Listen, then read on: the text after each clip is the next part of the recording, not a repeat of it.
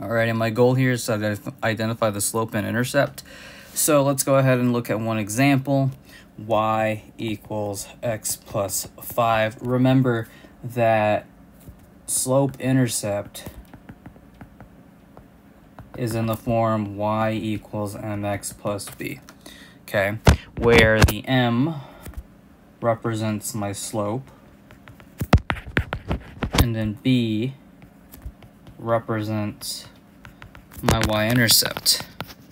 And remember, the y-intercept is where the line crosses the y-axis, okay? It crosses at one specific point, and usually it's in the form 0, comma, y. Okay, so let's go ahead and take a look at the first example. I need to identify my slope and I need to identify my y-intercept. Okay, so if I write y equals mx plus b and compare that with the problem that I have here, I can easily identify my slope. So my slope is usually in front of this x, so it's right here. And since there's nothing in front of the x, we have to assume it's 1, right? 1 times x is the same thing as x. So 1 is my slope. And then right after that, I have this plus b here.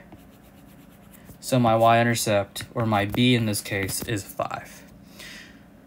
You can either identify that, or since we know that the y-intercept is in the form 0, comma y, I can set x is equal to 0 because my 0 is taking the place or is the in the position of the x in terms of order pair.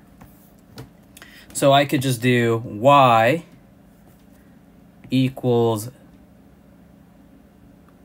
0 plus 5 and y equals 5, right? And y equals 5 is my y-intercept. So let's go ahead and take a look at another problem. I have y equals negative x minus 4. I'm going to write y equals mx plus b. And I'm going to label my slope and my intercept.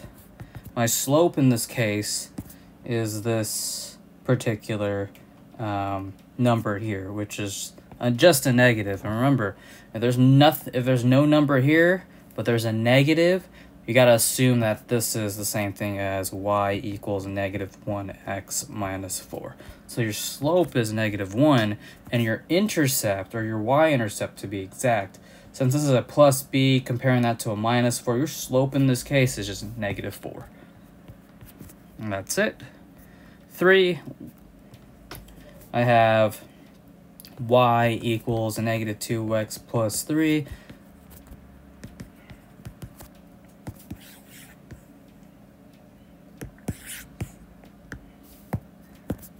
So write y equals mx plus b. Your slope is negative 2. And your intercept is positive 3. Okay, let's go ahead and take a look at number 4. Number 4 is y plus 2x is equal to 8. And remember, you're comparing that into you're comparing that to y equals mx plus b. So the issue with this particular uh, problem here is that y is not by itself. So I need to get y by itself and then det determine what my slope and intercept are. So subtract both sides by 2x. And I'm just going to, rather than writing 8 minus 2x, I'm going to change that at, to um, y equals negative 2x plus 8 because 8 minus 2x and negative 2x plus 8 are the same thing. So now I can identify my slope and my intercept, which is negative 2 and 8. Okay? All right, let's take a look at another problem. So number 5, um, I got y minus 3x equals 2 add both sides by 3x because y is not alone. So I can write that as y equals 3x plus 2, and my slope is 3, and my y-intercept is 2. Okay? And please, please, please do not, do not write 3x as your slope. Okay, I just want a number. Do not put an x here. Do not. All right, so let's go ahead and do number six. If I'm going too fast, just make sure to pause and then um, absorb the material or go back and watch it again if you um, are a little confused. Okay, so let's go ahead and do number six. I have y plus 2x minus 2 equals 0. Again, I'm trying to compare that to y equals mx plus b here, but this is in the form y equals mx plus b, so I need to make sure I get y by itself. So here's this plus 2x, and here's this minus 2. So I'm going to move it to the other side by using my inverse operations. Subtract both sides by 2x. I get y equals negative, oops, sorry. I get y minus 2 equals negative 2x. Okay, and I'm going to go ahead and add both sides by 2 now, because now if I do that, I get y by itself. So, I get y equals um, negative 2 plus 2x. And so now this is in the form y equals mx plus b, right? Oh, sorry. I need to rewrite this. I'm going to rewrite that as uh, negative 2x plus 2. There you go. Now I have y equals mx plus b. So then I can figure out my slope. My slope in this case is negative 2 and my um, my y-intercept is positive 2. Okay. Number 7. Here's number 7. My equation is 4x plus 2y, which is equal to 6. Notice that we're it's not in the form y equals mx plus b, so I need to change my equations. Uh, I'm going to go ahead and get this 2y by itself because it contains the variable that I want here, which is y. Notice that every equation that we've been doing has y by itself, right? So this was by itself, this was by itself, now this is by itself, and so on and so forth. So here, I got to do the same thing. I need to subtract both sides by 4x, because again, this is the variable that I want. So I'm left with 2y equals negative 4x plus 6.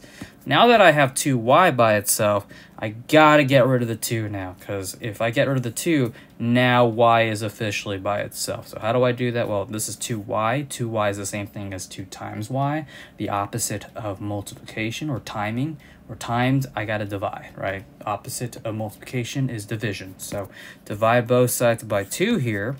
That's gonna go away. So I'm left with y on the left side. And then this is how I'm going to do this. Um, uh, since this and this are being divided by this 2 here, I got to do it like this. Negative 4x divided by 2, or negative 4 divided by 2 is negative 2. And then after that, I got to slap on the x because that's what I'm supposed to do. And then I have this plus 6 divided by 2, or positive 6 divided by 2. What's 6 divided by 2? Well, that's just going to be positive 3. Okay.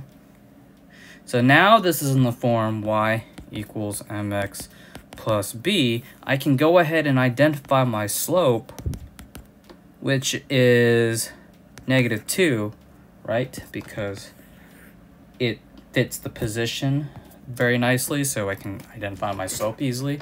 And then lastly, this positive 3, or this plus 3, is my y-intercept, b.